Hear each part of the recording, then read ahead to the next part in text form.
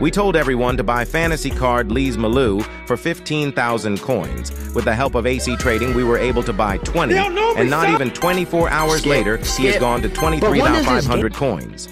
And we have sold him for a 7,200 coins profit per card, making that 144,000 coins profit in total.